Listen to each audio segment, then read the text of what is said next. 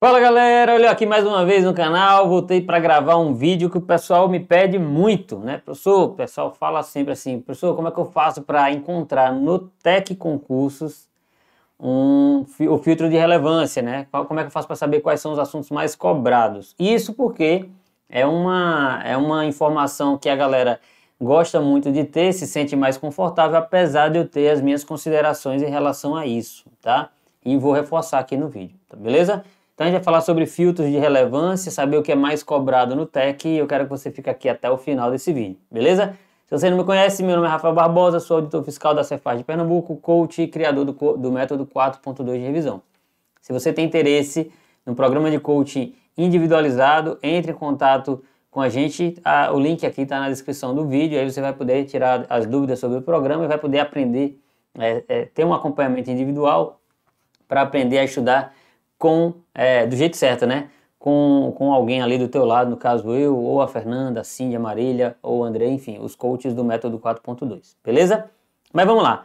É, esse vídeo é, tende a ser um pouco mais longo, porque eu vou falar, um pouco mais longo não, deve chegar a durar uns 10 minutos aí, porque eu devo falar, vou falar aqui sobre é, o que eu considero, a importância que eu considero né, de ter uma assinatura de um, de um sistema de questões Lembrando que esse vídeo não é patrocinado pelo Tec, gosto muito do Vitor, do Thiago, do pessoal do Tec. É só uma forma aqui de ajudá-los mesmo nessa labuta, tá? Você que está aí do outro lado estudando para concurso público e quer ter um, alguma informação mais técnica em relação a isso. E aí eu já vou pedir para que vocês aqui nos comentários do vídeo, do, do vídeo deixem as sugestões. Professor, fala sobre tal coisa. Eu vou buscar saber. Se eu não souber, eu vou lá buscar saber para você é, é, encontrar, enfim, esse tipo esse manual aqui nesse canal, ok? É, eu vou falar sobre o Tec Concursos, depois eu devo fazer um vídeo falando sobre o que concursos e os demais é, concorrentes, ok? Não quero, assim, eu, eu uso o Tec Concursos, deixa eu tirar o som aqui que deu um pulo aqui. Eu uso o Tec Concursos porque para mim é uma ferramenta é, fantástica. Tem tudo que eu preciso é, e tem uma, uma qualidade nos comentários que é assim bem bem marcante. No começo da trajetória, lembrando que eu, eu, sou auditor fiscal hoje, mas eu já fui analista de TRT, de DPU, enfim, já passei em, em, outros concursos na minha vida, não é o primeiro concurso, eu tenho 12 aprovações. E aí nessa minha trajetória, né, que começou em 2003, não tinha sistema de questões, 2003. E aí quando eu voltei a estudar para ser, porque aí eu fui ser sargento do exército, voltei a estudar em 2009, 10, aí tinha o que concursos, que era o, o maior site da época, tá? Só tinha ele, na verdade. E aí quando eu voltei a estudar, então no período de 2010, 9 e 10 eu usei o que concursos. Quando eu voltei a estudar para concurso de auditor, 2013, 14, aí eu já cheguei junto do TEC, o TEC já estava maduro, acho que o TEC iniciou o trabalho em 2011, acho que foi alguma coisa assim, beleza? Mas é uma ferramenta fantástica. Vamos lá. Qual a importância do sistema de questões dentro do estudo no método 4.2, inclusive? Vocês vão fazer todas as questões de teste no sistema de questões. Então vamos lá, vocês vão ter quatro dias de estudo da teoria. Eu vou colocar no link da, desse vídeo aqui, vai ter a, a, na descrição desse vídeo vai ter o link para o método, para o vídeo que explica o método, tá bom? Mas vamos lá. Vocês vão ter um, um, os quatro dias de teoria, estudando os, as questões, estudando e fazendo questões de fixação. E as questões de fixação, nesses dias de estudo, vão ser do próprio material em PDF.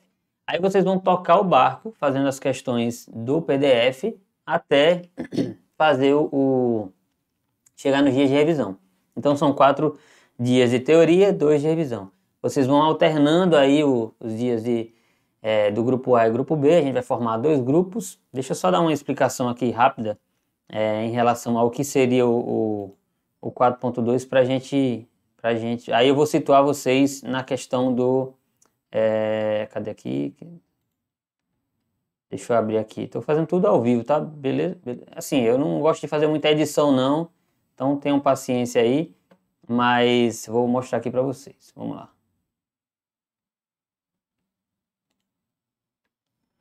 Show de bola. Estou tocando aqui. Vamos lá, tela em branco, tá? Vocês estão vendo aí, né? Então vamos lá. No método 4.2, como é que a gente vai fazer, ó? Imagine, vocês têm seis dias e a gente vai colocar dois grupos. Grupo A, grupo B, grupo A, grupo B, grupo A e grupo B. Vamos lá, quatro dias de teoria Opa. E dois de revisão. Então, teoria, revisão. Dentro desses quatro dias de teoria, vamos supor que você tenha colocado aqui português, certo? Constitucional e contabilidade geral. E aqui você colocou informática, administrativo e raciocínio lógico matemático. Então esse aqui é o grupo A, esse aqui é o grupo B. Vai repetir grupo A, grupo B e aqui você vai revisar. Então nesse primeiro, nesse primeiro dia de revisão você vai revisar tudo que viu em A durante a semana e aqui tudo que viu em B durante a semana. Vai ser a revisão. Como é o estudo da teoria? 75% do tempo que você vai é, ter aqui nesses tempos de, de, de estudo vai ser destinado à leitura ou vídeo, tá? E 25% do tempo questões, opa, voltando aqui, e 25% do tempo vai ser, vai ser destinado às questões de fixação. Então, aqui dentro desses quatro dias de teoria, eu tenho questões de fixação. Essas questões não precisam ser no site de questões, mas pode ser, tá? Só que aqui, quando vocês forem utilizar, é, fazer as questões, as revisões, vocês vão destinar 75% do tempo para as questões de teste, que são questões do sistema de questões. Professor, por que, que o senhor está falando isso aqui? O senhor não abriu o vídeo para falar sobre o TEC? Bora lá. Porque é aqui que você vai ver que dentro do método 4.2 é obrigatório que você tenha um sistema de questões, porque no dia de revisão você vai utilizar o sistema de questões para fazer a sua revisão. Beleza? Então, assim, não tem como ficar fora, é, deixar, não tenho, eu não tenho como fazer uma boa preparação sem um sistema de questões. Então, aqui já fica a primeira coisa. Aí todo mundo fica é, dentro do estudo, até para organizar a teoria, quanto para fazer as revisões, o cara fica meio cismado. Professor, eu queria saber o que é mais importante, o que não é e tal. E a galera vende isso aí no mercado. Então tem empresa que vende o mercado como um diferencial e informar o que é mais cobrado. Eu vou mostrar para vocês aqui que em quatro cliques, quatro, cinco cliques, vocês vão fazer o filtro de, de, de, de relevância e vão encontrar o assunto que é mais cobrado, tá? Qual é a, a área de formação de vocês? Coloca aqui nos comentários só para eu saber. A área, de, a área de formação não. Eu quero saber qual é a, a área que vocês estudam, né? Para qual área vocês estudam? Fiscal, policial, tribunais? Para a gente fazer um censo aqui. Coloca nos comentários aqui, tá? Para eu saber depois. Eu vou fazer um filtro que abrange, que vai servir para todo mundo. Eu vou colocar aqui Direito Constitucional, Banca CESP, SEBRASP, tá? E últimos cinco anos a gente vai, vai e aí eu vou colocar para as carreiras é, fiscais, beleza? Fazer um filtro para as carreiras fiscais. Então eu vou, vou montar um caderno aqui para fazer nosso teste com essas informações e vou mostrar para vocês qual é o assunto mais cobrado nos últimos anos de direito constitucional com é, para a área fiscal com apenas quatro ou cinco cliques, ok? Mas vamos lá. Para mostrar isso para vocês, eu vou ter que trazer aqui, deixa eu tirar trazer para a tela o TEC, né? Então, para quem não conhece ainda o TEC, ó, o TEC é essa, é essa plataforma aqui, deixa eu abrir aqui, ó. Então, vamos lá. Estamos na plataforma do TEC. Quando vocês entram nele, vocês têm aqui, ó, menu início, né? Que aí você tem aqui os status aqui do seu desempenho. Pessoal, eu peguei os dados de um aluno meu, tá? Esse aluno meu, ele tá comigo tem mais de ano estudando, ele é aluno do programa de coaching e ele me cedeu o contato dele, a senha dele para poder para poder mostrar para vocês, tá? Com dados reais. Que aí depois eu vou fazer alguns vídeos aqui com estatísticas, análise de estatísticas para que vocês possam ver também como é. Mas bora lá. Eu quero agora fazer o caderno de questões. Primeira coisa, né? É, vocês vão clicar aqui no caderno de questões para fazer esse cálculo estatístico para fazer esse cálculo estatístico, tem que ter um caderno pronto, tá bom? Porque a gente vai fazer um, uma organização dentro do caderno. Aí eu vou ter que fazer o, o filtro, ok? Vou ter que fazer o caderno. Para colocando o, o, as informações que eu falei, para a gente depois ter uma, uma noção do que aqui é mais cobrado, do que aqui é menos cobrado. Abrindo aqui, ó, essa é a ferramenta, né? Só voltar aqui, ó. Eu cliquei aqui em criar caderno novo E vejam que ele abre aqui, ó, um, uma box mostrando já a árvore. Isso é um dos maiores, é, das coisas mais legais que o Tech tem, que eu, que eu curto pra caramba, que é o mostrar já a árvore. Para o aluno isso é muito bom, você clicar aqui em direitos humanos e saber quais são os assuntos que estão dentro dessa, desse filtro, né? É, isso aqui é dando um exemplo, né? Então, assim, é, é, muito interessante. O que concurso também faz, o do estratégia também faz. Depois eu vou mostrar cada um deles. Mas bora lá. Eu falei que ia mostrar direito constitucional, então eu vou co colocar aqui o filtro, ó. Todos, né? Todas as, todas as questões de direito constitucional. Vejam que eu tenho aqui 49 mil questões, ó, de direito constitucional encontradas, beleza? Ah, professor, eu quero saber quantas dessas têm comentários. Eu venho aqui em opções, ó, remover as que não têm comentário, ó. Cadê? remover não comentadas, ó. Então, tirei 7 mil questões. Então, tenho 42 mil questões de constitucional comentadas, beleza? Aí, vamos lá. Eu vou colocar agora, já coloquei banca, é, desculpa, disciplina, agora eu vou colocar banca. Eu quero questões comentadas do SEBRASP que é o CESP, né? Então eu tenho aqui, ó, 8.566 questões, ok? Vou querer, é, não vou colocar cargo, eu não recomendo que vocês coloquem cargo, porque vocês vão restringir demais a amostra de vocês. É interessante que vocês deixem isso aqui mais para área do que para cargo, tá? Então eu vou vir aqui, ó, área, e vou colocar área fiscal. Então eu tenho aqui, ó, é, direito constitucional, né? tirei as não comentadas. Do CESP, eu tenho 170 questões da área fiscal. Professor, não é pouco não? É não, gente, é porque tem pouca, parece que tem poucas questões aqui, mas não. A banca CESP não, é uma banca, não era uma banca tradicional na área fiscal, ela era mais tribunais de contas. Quem dominava a área fiscal até 2014, 15, era a FCC, entendeu? De 2017 para cá é que, que a, o CESP começou a pegar uma porrada de concurso, beleza? Mas é por isso. Se eu colocar aqui CESP, Tribunais de Contas, já dá mais. CESP, Tribunais já dá mais. Beleza? Mas vamos lá.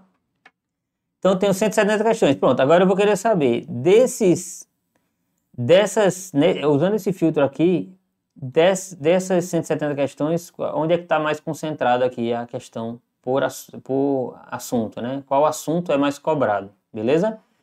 Aí eu vou montar esse caderno aqui para depois poder deletar. Teste, que está na conta do meu aluno, né? Teste Prof. Rafael Barbosa. Vou colocar assim, ó. Teste Prof. Rafael, sem classificação. E vou gerar. Antes de gerar o caderno, já vou ensinando alguns, algumas coisas aqui para vocês. Ó. Se vocês quisessem saber o que está aqui dentro, já teria aqui de forma indireta, ó. É só clicar em configurar caderno e aqui em expandir, ó, o que, que acontece? Você já tem a dispersão das questões dentro dos assuntos, dos diversos assuntos. Olha que legal isso aqui, tá? E aí você poderia, eventualmente, controlar aqui quantas questões de cada um, ok? Então é bem, bem legal isso aqui mesmo. Mas vamos lá. Eu vou só gerar o caderno, como eu falei para vocês. Esse trabalho de gerar o caderno não está dentro do que eu falei para vocês que ia fazer com cinco cliques para saber o que era mais cobrado. Então, vocês poderiam simplesmente ter pego um caderno pronto num guia de questões. Depois eu mostro aqui para o vídeo não ficar imenso, tá? Mas eu vou começar a partir daqui contar clique, para a gente ver quantos cliques a gente vai ter até ter os assuntos mais cobrados que a galera vende por aí, né? Mas vamos lá. Então vamos lá. Primeiro clique aqui em índice do caderno, ok? Segundo clique, eu venho aqui em índice e vou mudar, ó, exibir distribuição de questões por. Aí eu vou colocar por quantidade, ok? Para ele mostrar a quantidade aqui. Vou trocar aqui em organizar por, tirar matéria e colocar por relevância. Então, um, dois, três. É agora o quarto clique. Expandir tudo. Pronto. Eu tenho aqui os assuntos mais cobrados de cima para baixo, tá? Em ordem decrescente. Então eu sei que dos direitos e deveres individuais e coletivos, artigo 5 que é coisa pra caramba, a gente sabe, é, é o assunto mais cobrado, tem 11,18%.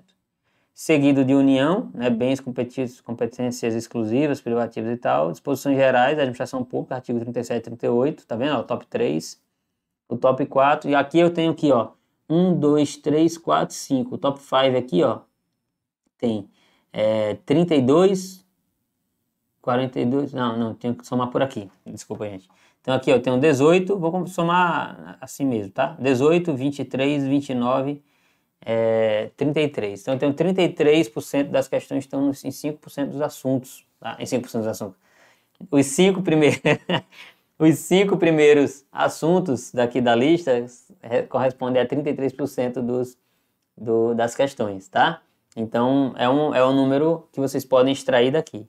Às vezes, a gente abre um, um, um índice desse e a gente vê tipo que não tem muita variação. Por quê? Porque há uma dispersão dos assuntos, das, dos temas abordados dentro da disciplina e não tem nem muito como você trabalhar essa questão, tá?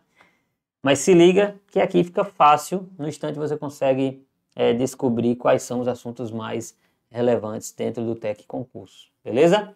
E é isso, espero que vocês tenham gostado do vídeo. Quem tiver interesse, repito, de entrar é, na lista de espera do programa de coaching, é só deixar o nome na lista de espera que a nossa equipe vai entrar em contato, beleza? Sejam é, bem-vindos ao canal, quem está chegando agora. Quem não tiver inscrito, inscreva-se, ative as notificações e dê o like aí que é muito importante para o crescimento da gente, tá bom? grande abraço, fiquem com Deus e até o próximo vídeo. Valeu!